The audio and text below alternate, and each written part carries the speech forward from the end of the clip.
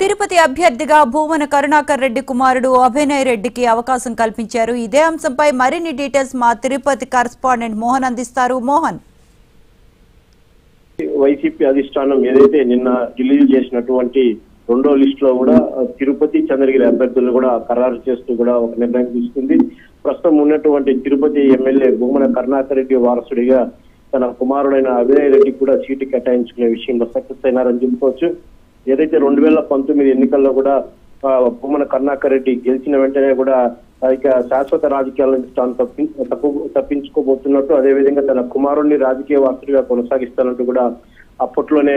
ఏదైతే వైసీపీ కార్యకర్తల సమావేశంలో ప్రకటించడం అదే విధంగా కూడా తన కుమారుడైనటువంటి భూమన అభినయ రెడ్డిని కూడా తిరుపతి మున్సిపల్ కార్పొరేషన్ ఎన్నికల్లో ఆ, కార్పొరేటర్గా నిలబెట్టి అనంతరం కూడా డిప్యూటీ మేయర్గా కూడా పదవి బాధ్యతలు చేపట్టించి రాజకీయంగా కూడా వారసత్వ హక్కుల్ని క్లియర్ చేశారని చెప్పుకోవచ్చు. ఇంకా అదే విధంగా కూడా ఎవరైతే చంద్రగిరికి సంబంధించినటువంటి ప్రస్తుత ఎమ్మెల్యే చెవిరెడ్డి భాస్కర్ రెడ్డి కూడా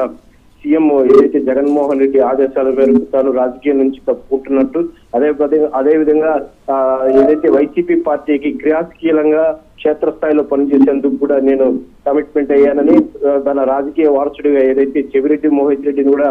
రెండు వేల ఇరవై నాలుగు ఎన్నికల్లో కూడా ఎమ్మెల్యే అభ్యర్థిగా కూడా గెలిపించుకోవాలని చెప్పి తన కార్యకర్తలకు ఇప్పటికే ఒక పిలిపించిన నేపథ్యంలో వీరిద్దరూ కూడా సీఎం దగ్గర కూడా తన రాజకీయ వారసులకు టికెట్ ఇప్పించుకునేందుకు సక్సెస్ అయ్యారని చెప్పొచ్చు. నిన్న రిలీజ్ అయిన ఆ టికెట్ల జాబితాలో కూడా అటు తిరుపతి ఎమ్మెల్యే అభ్యర్థిగా కూడా బొమ్మల అభినయ్ రెడ్డిని అదేవిధంగా చంద్రగిరి అభ్యర్థిగా కూడా చెవిరెడ్డి మోహన్ రెడ్డి కూడా ఖరారు చేస్తూ కూడా తాడేపల్లిగూడెంలో సీఎం క్యాంప్ కార్యాలయం నుంచి కూడా లిస్టు రెడీ అని చెప్పుకోవచ్చు ఏదైతే సీఎం ఏదైతే సీఎం కూడా ఈ రెండు రాజకీయ వారసులకు సీట్ ఇచ్చేందుకు గ్రీన్ సిగ్నల్ ఇవ్వడంతో కూడా చిత్తూరు జిల్లాలో ఇప్పటికే దాదాపు ఆరు సీట్లు కూడా కన్ఫర్మ్ చేస్తూ కూడా మా ముఖ్యమంత్రి ఒక ఫైల్ అయితే రిలీజ్ చేసినట్టు కూడా చెప్పుకోవచ్చు Sravanthi. Right thank you Mohan